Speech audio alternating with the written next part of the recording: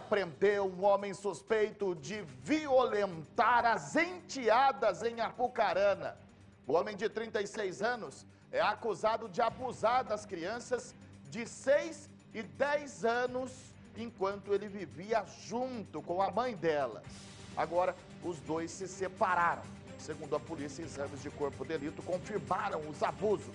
As meninas também foram ouvidas e contaram detalhes do que esse crápula fazia com elas. Mas um excelente trabalho da polícia, um doente sexual colocado atrás das grades.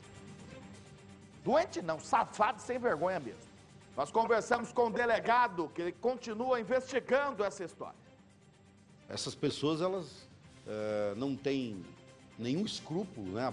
de crianças, tá? E, obviamente, isso causa revolta na sociedade. Só que a, a lei aqui no Brasil, ela é bastante clara, né? Ela, nesses casos, as penas são bastante rigorosas.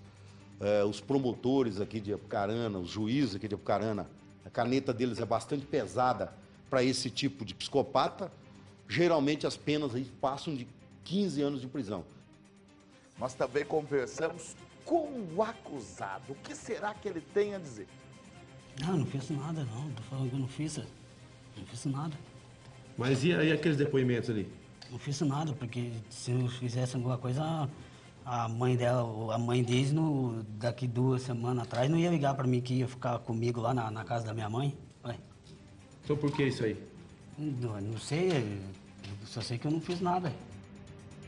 Fez sim, segundo a polícia, trata-se aí realmente de um elemento perigoso e que abusou dessas duas crianças. Inclusive, a polícia anexou no inquérito provas técnicas